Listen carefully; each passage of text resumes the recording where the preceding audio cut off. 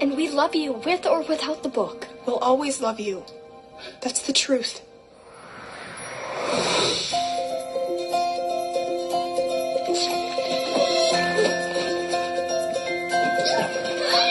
Look, we're gonna figure this out, okay? Thanks. Surprise! Happy birthday! You remembered. I believe in our cake. I believe in us.